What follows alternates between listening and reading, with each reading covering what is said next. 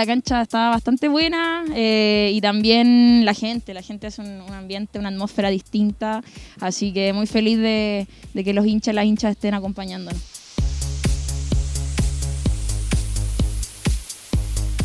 Estamos muy agradecidas por el recibimiento, porque nos dieran un espacio para reunirnos con la gente. Eh, la cancha estaba muy buena y, y, nada, fue todo muy lindo, lo vivimos de manera muy emocionadas todas por, por el público, por el rival, por lo que significaba este partido. Poder tener el público que se merece, la cantidad y también esa pasión que generan.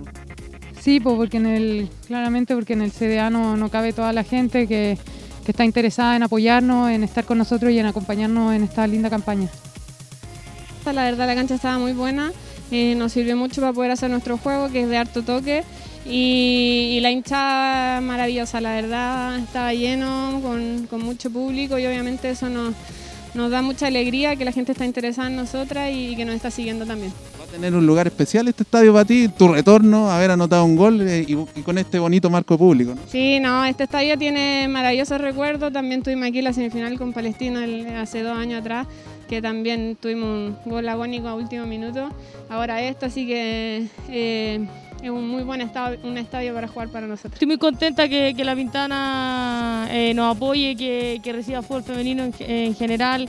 Creo que la cancha estaba muy buena, se veía muy linda, el pasto estaba en las condiciones que nosotros necesitábamos, así que estábamos contentos por eso. ¿Te dan ganas de pensar, por ejemplo, en un superclásico aquí? Sí, obviamente, pues con mi gente, eh, me encantaría pensar en un clásico y, y, que nada, que todo salga bien, que eso también es importante para nosotras.